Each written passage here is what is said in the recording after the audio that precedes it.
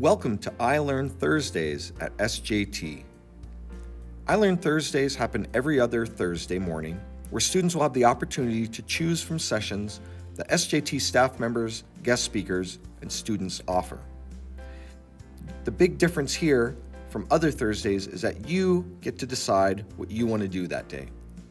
The schedule is a little bit different from other Thursdays. We start with homeroom where announcements happen, you do a session of independent reading, and then we go right into block one, which lasts just under an hour.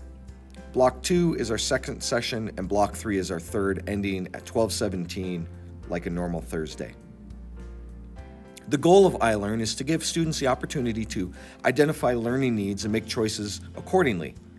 Take responsibility, improve your work ethic, share and collaborate with staff and other students. It's an opportunity to try new things and reflect on your experiences. Some of the things that you'll be doing on Thursdays for iLearn is extension of curriculum. You might be doing some extra math or social studies, some different projects that aren't able to be done in class. There'll be some one on one time for learning or studying. You'll have access to additional supports in core subject areas, such as peer tutoring or collaboration time for group projects. You'll often have access to computer labs to complete work. You can catch up on missing assignments or tests and do other kinds of enrichment projects. Like, in their flex zone, being able to work out in various ways, like Zumba or doing yoga. There's also quality reading that's often offered.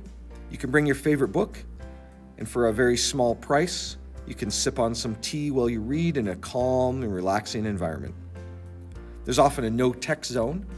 You can enjoy some time playing games, doing origami, playing cards, and just relaxing where no tech is allowed.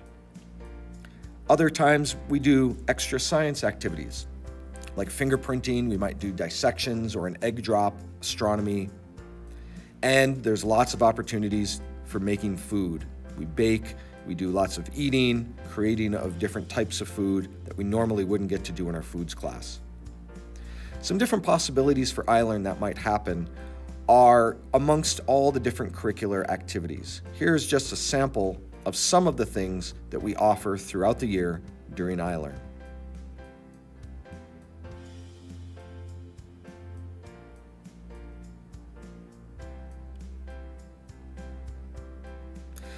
This model allows endless possibilities for teachers to give enrichment to our students in a variety of ways in language arts, social studies, math.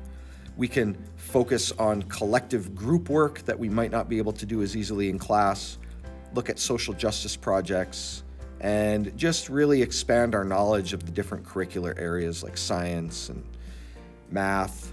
The big difference with Sir John's iLearn sessions is that you get to control what you want to do. You're in control. You get to decide. It's all about you. Welcome to iLearn.